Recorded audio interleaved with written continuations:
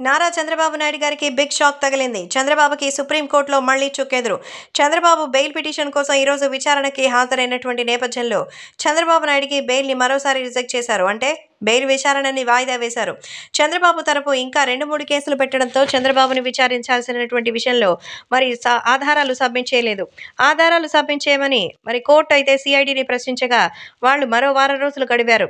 మరి ఈ ఆఖరి నాలుగు రోజులు వాళ్ళకి గడువునిచ్చారట మరి కోర్టు ధర్మాసనం ఇచ్చినటువంటి తీర్పు మేరకు సోమవారం మళ్ళీ బెయిల్ పిటిషన్ విచారణకు హాజరవుతుంది. దీంతో సుప్రీంకోర్టులో సైతం చంద్రబాబుకి నిరాశ ఎదురవడంతో అందరూ కూడా షాక్ అవుతున్నారు.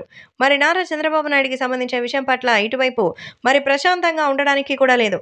జగన్మోహన్ రెడ్డి ఆయన బయటికి రానివ్వకుండా మరి బెయిల్ పిటిషన్ని కూడా ఇవ్వనివ్వకుండా మరి శిక్ష పడనివ్వకుండా బాగానే నాంచుతున్నారు. ఇదంతా కూడా కావాలనే చేస్తున్నదని అయితే అర్థమవుతోంది.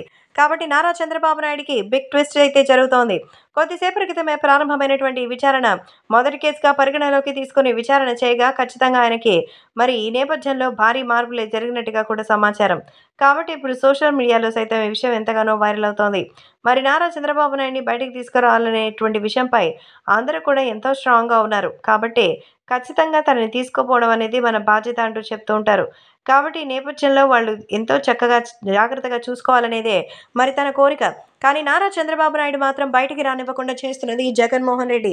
కావాలనే సిఐడితో కలిసి మాస్టర్ ప్లాన్ వేశారనేది అయితే సమాచారం.